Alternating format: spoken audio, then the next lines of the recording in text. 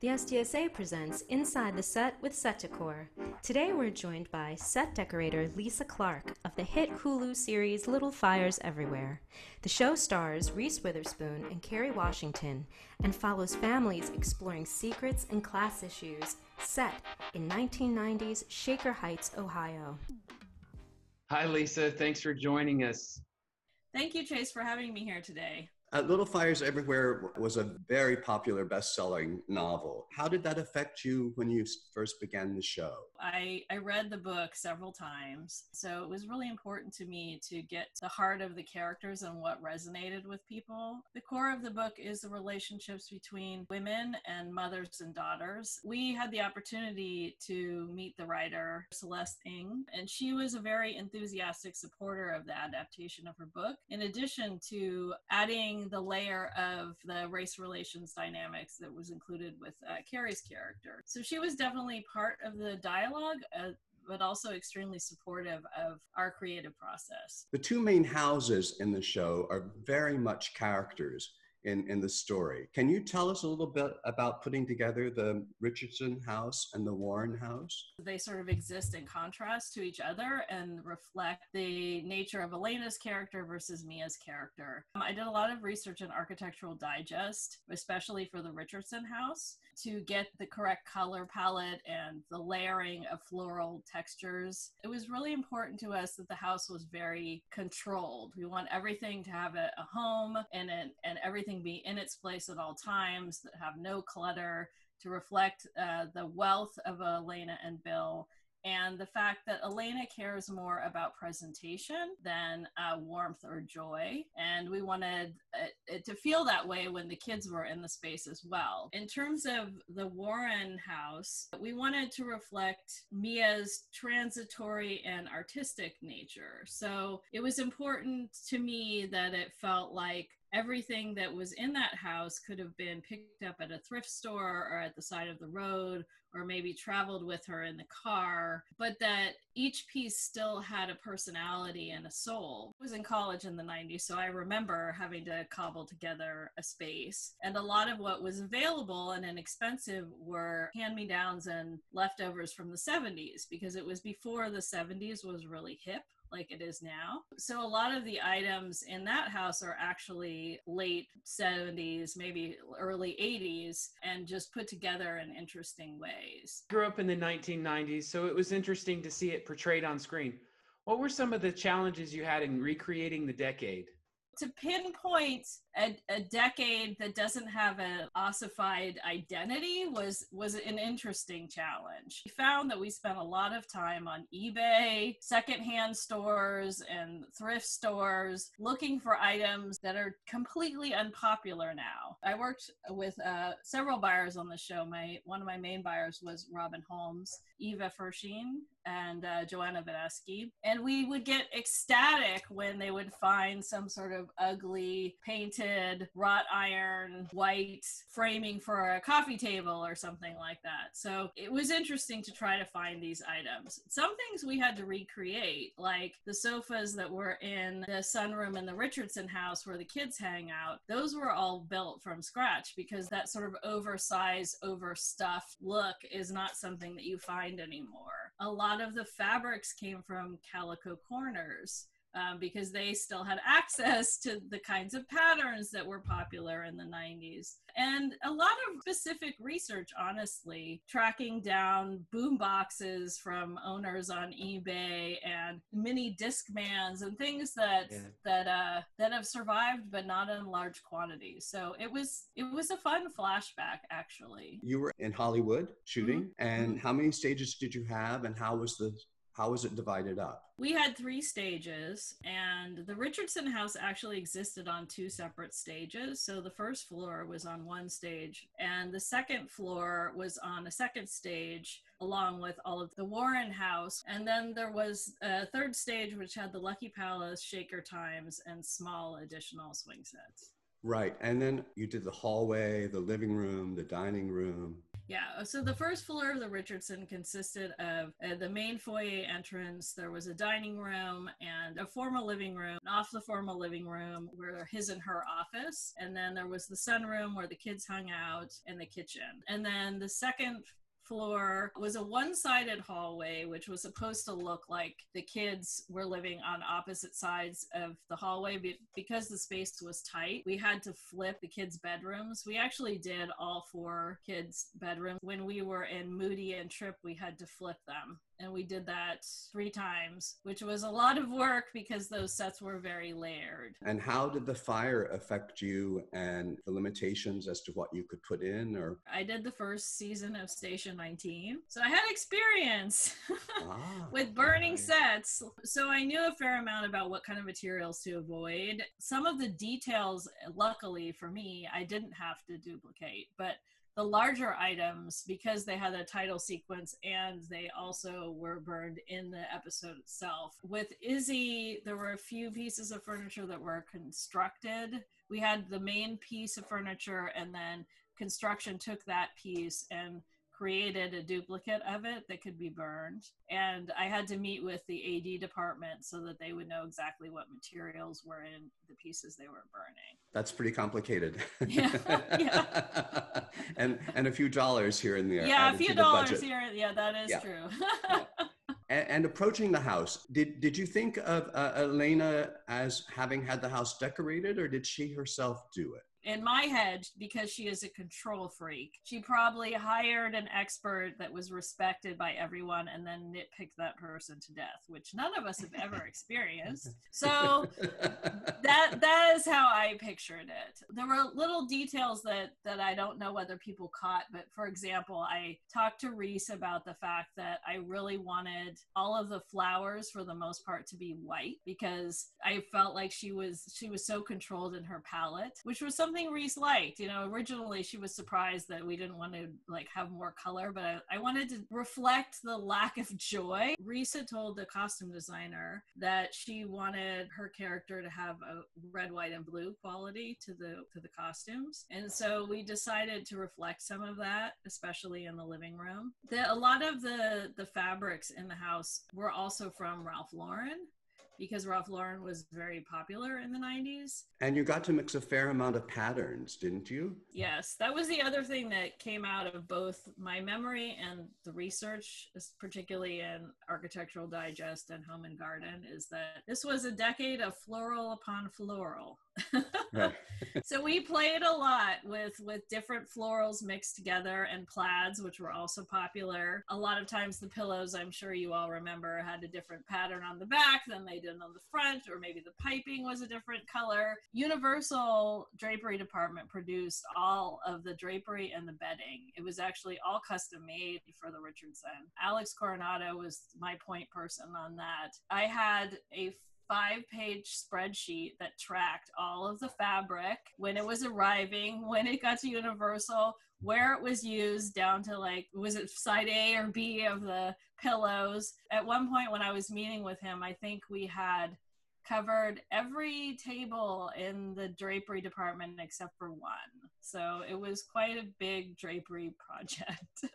The sofa and chair in the sunroom of the Richardson house, it's covered in wonderful blue denim. I just think that those choices are really good. I actually had to talk Jess into the blue sofas because they wanted them to be off white, and I really resisted that because I thought that it wasn't as interesting of a choice and didn't evoke the era as much. I looked at about 12 different fabric samples because I wanted it to be striped, but I didn't want it to fight with the costumes. So I actually met with the costume designer too, because when she knew that I was going to do blue, she was concerned about the actors being in jeans a lot, which is what kids in that era, they'd be wearing jeans. I got my four samples that I was happy with, and then I sat with her and we picked a color together that we thought was complementary to her costumes, but still would give us that blue and yellow. So it was actually quite a process. In the kitchen, the gorgeous plaid curtains in the dining area and over the sink. The very beginning, like all designers, Jess gave a design presentation to the executive producers, and Reese was one of the executive producers. There was a piece of research that Reese was really attached to, actually, that had a plaid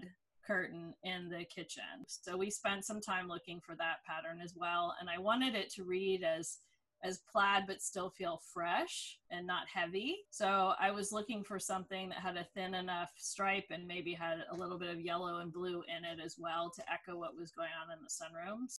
You mentioned Reese, and then there's Kerry Washington. What were the actors' first impressions of the set? When we were partway through dressing the set, Kerry came in with a couple of the executive producers because she wanted to see our progress and have a conversation about how she viewed Mia's character. We had a wonderful dialogue about how she saw me as an artist uh, because in my mind originally i i thought of uh, mia as more of a like collector and a eclectic layering in her art. Kerry really thought that because she came from a hip hop inspired background in New York, her classic training in photography, that she was inspired by Japanese art.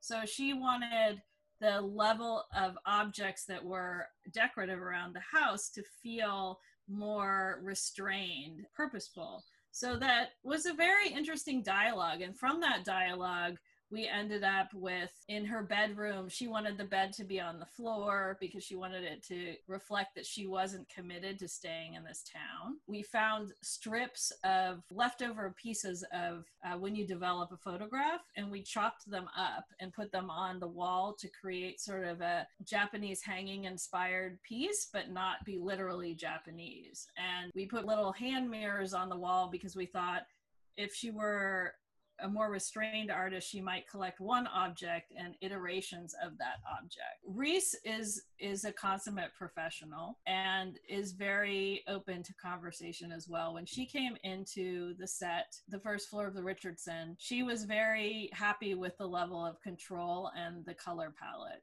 she asked some very intelligent, specific questions about how Elena would move through the house. She would go into the kitchen. Where would she put her keys? There were a lot of conversations about where things would be in drawers to, for her access. It was an, an interesting for me because I got to see how she thought as an actor and the process that she you know, interjected herself and her own actions into the space. The other really wonderful moments was when Celeste Ng came to visit the set. She did a walkthrough with myself and Jess and she was so ecstatic with how we had brought her vision of the Richardson and the Warren house to life. She said that she felt like somebody had crawled inside of her head and produced it. She really noticed the details that we as set decorators add. Ohio State mugs in the kitchen that were Bill's and the Cleveland Indians pendants behind his desk. She noticed all those things, which was really gratifying to have a writer recognize the level of commitment we had to bringing her vision to life it's great to hear about all the Cleveland things that you put in and the Ohio things that you put in, and also how Izzy's bedroom came to play a little bit into and sort of reflect a little bit about the creativity in, in Mia's studio and, and her house. We wanted there to be a visual conversation between Izzy's space and Mia's sunroom, Lexi's room, and Pearl's bedroom because we felt like Pearl had a fantasy about her life looking more like Lexi's life. Izzy had a fantasy about her life looking more like Mia's life. Base for both Lexi and Izzy's rooms we wanted it to feel like Elena had made those choices. The wallpapers um, actually were custom designed by the, the graphic designer, and we wanted all of the bedding to be floral. So we picked pink for Lexi and lavender for Izzy. Izzy's room in particular, we layered on top of it her rejection of her mother. There was actually a couple plaid blankets on her bed that I'm not sure ever showed up on camera, but we wanted it to look like she maybe stole them from her brother's room. All of the artwork and the posters that she puts up are to cover up the remnants of her mother her artwork is on the walls, but it's not displayed prominently because she doesn't feel confident about her voice yet. She's picked other people to represent her that way or other artists at that point in time. In terms of Lexi trying very hard to be her mother, it's a very classic girl's room where everything is in its place So for Pearl's room, we wanted it to have that that transitional moment that a girl has where she's trying to figure out her path. And Pearl is influenced by many different people, by Elena, by her mother, of course, by the way that Lexi lives. So we wanted the room to reflect a kind of sweetness that her character has. And there's a very pivotal visual moment when Mia and Pearl pick up a bed by the side of the road. Because I knew they were going to lay the bed out on the grass and it was going to be this photographic moment between her mother and herself, I thought an iron bed would be more beautiful and photographic. I didn't want a heavy wooden bed. We found an iron bed on eBay from that era and made sure we could take it apart and lay it out on the grass. The layers and additions to the Warren House as, as the series went on, what were some of the challenges in getting that together? Initially, both the directors and the designers said, Oh, it's so much work. You don't have to change the living room and the rest of the set as you go along. And I said, No, we are changing it because I really felt that it was important to reflect this tug of war between Mia and Pearl about staying in Shaker Heights and it would be reflected in her house because I think that artists are all we're so visual we're always collecting things that inspire us. We actually had an entire binder tracking how that set changed over time because you know you don't always shoot in order.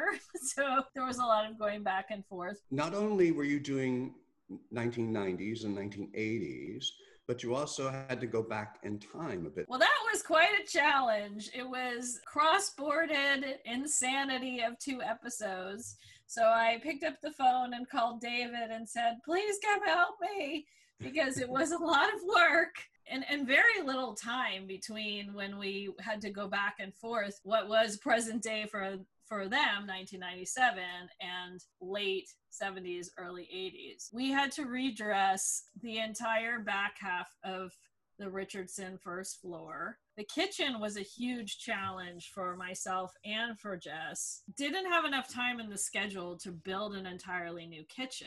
She had to wood grain all of the white cabinets to make them look like 70s wood. She built an entirely new island. I had to find a matching set of 1970s appliances. It turns out is extremely difficult. We went on a crazy online search and we found a complete set in Ohio of all places that we paid to ship out to California in time to build into the set. What we are calling the Warren House was the house where Elena lived when she was recently married and her children were toddlers. So David also worked with me on that set.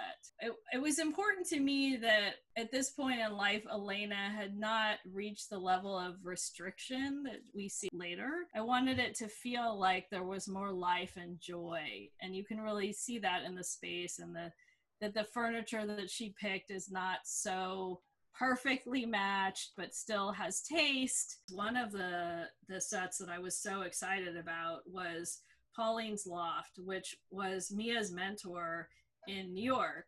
And we wanted it to feel a little bit like Soho from the early 80s. A lot of the inspiration came from the African American art community in New York in the early 80s, which was heavily influenced by artists like Warhol and Basquiat we wanted it to have a very urban, alternative, cutting edge feel to it, which was very different than a lot of the other sets that we were doing. So I was probably 80% shocked on that set, and I was very happy with the direction it was going.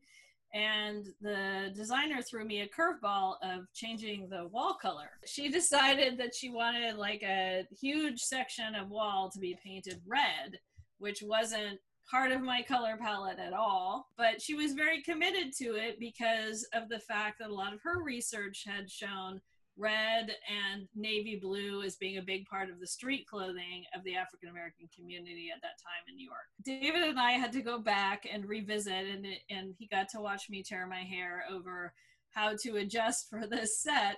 But luckily, because we have so many um, strong prop houses in LA, uh, we had a lot of options and we were able to move pieces around and make it still have the look and feel that I wanted for that space. Kerry actually had a couple artists that she was interested in featuring, so we went through the process of clearing their art for that set. I uh, decided that I wanted Pauline to have an Orisha altar in her bedroom, and so I went through the process of doing that research and creating a small altar by the bedside. I wasn't there when this happened, but Jess walked Kerry through the set, and she stopped and looked at that that altar and said, I can't believe there's an altar to one of the Orishas in this set. And she told Jess to thank me for that level of detail, which meant a lot to me. Shaker Times, the newspaper office, and mm-hmm. also Lucky Palace. Tell us about those sets. Those two sets were also considered permanent sets. They were full builds on stage. When we worked on Shaker Times, I actually called an old colleague of mine from graduate school who was a computer scientist and went over exactly what computers would have been in the offices in 1997 if it wasn't a really advanced office and what the routers would look like and it was a it was sort of a fun flashback. It had a bullpen of I think it was six or eight desks and a conference area and it had its own library section which for me was a was difficult but also a lot of fun because when I was in college at Stanford, I worked in the periodicals department. So I brought all of that memory to the table, tracking down old magazines and newspapers. And there was a section of the resource area that was devoted to microfilm, microfiche. And so we had to track down working machines, which we purchased as well as microfilm rolls that were from that era. You'd be surprised how expensive and difficult it is to find microfilm. Selecting the computers as well as the furniture we didn't want everything to look brand new because it was a local newspaper. We thought that it would at least be a few years old and that the money was probably going more into staffing. It must have been really difficult because no one had a big stock of things on hand. For the first six weeks, I think I had three buyers because of having to track down things object by object, really, especially for the for the kids' bedrooms. We found, you know, maybe like a white wicker headboard here and then mm-hmm. a matching dresser set, but it would be the wrong height and we'd have to buy legs and raise it and there was a lot of altering things and finding objects to go together one at a time. So let's talk about the Lucky Palace. I was really proud of the Lucky Palace. I know it's one of those sets that I think decorators really appreciate because they know the work that goes into making something feel real that is every day. A restaurant sounds like a boring set, but it's really not. There were a lot of details that went into the choices in, in the Lucky Palace. For example, we, I wanted those chairs that were really popular in the 80s with the, the black tubular backs. So we we tracked those down and purchased them. Most of them were red because at Chinese restaurant typically the upholstery is red. But I purchased a handful of them in green because I wanted it to look like at one point they couldn't get the red chairs anymore and they had to buy whatever they could find. A lot of the things that were hung on the wall, you know, you have to fight your instincts to square things off. I purposefully hung things off kilter from each other because things often feel haphazard in those restaurants. There was a kitchen in the back that was a full dress, and we bought a lot of that equipment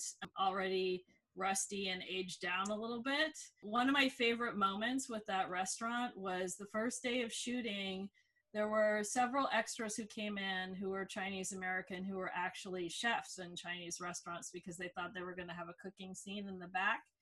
And they turned to me and they said, yeah, this looks like my uncle's restaurant. And I said, that's the best compliment I could get from anyone. So, you know, it made me feel like we done we done it right. At one point, weren't you going to go to Cleveland and shoot? Initially, they were planning on shooting most of the exteriors at Cleveland, and they wanted to shoot the exterior of the high school and all that. It became cost prohibitive, and they ended up shooting it all in Los Angeles. So there was a lot of um, challenges, particularly for the art department, around creating weather in Los Los Angeles. I spoke with a friend and she said to me, Oh, I love Little Fires Everywhere. And I recognized the house in Shaker Heights.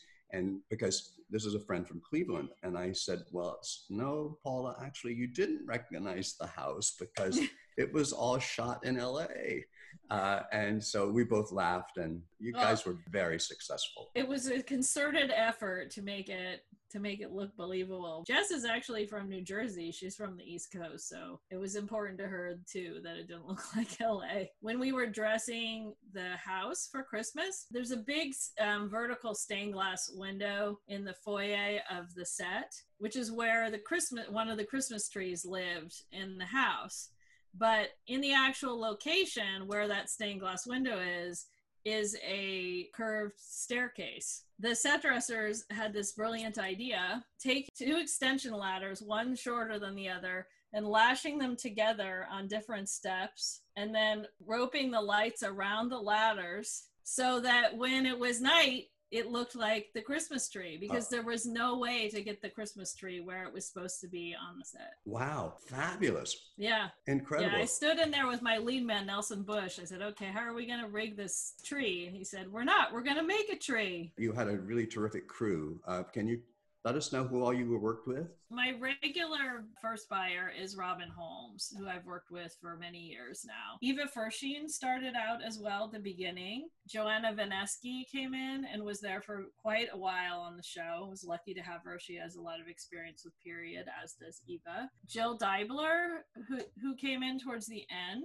Rhonda Elliott, who came in and helped significantly with Shaker Times when we were behind the eight ball. Beth Emerson also came in and, and helped out for a week. So I had a lot of people with with a lot of experience. It's been great chatting with you today, Lisa. Thank you for having me. I really enjoyed it. Thanks for joining us for this edition of Inside the Set with Set Decor.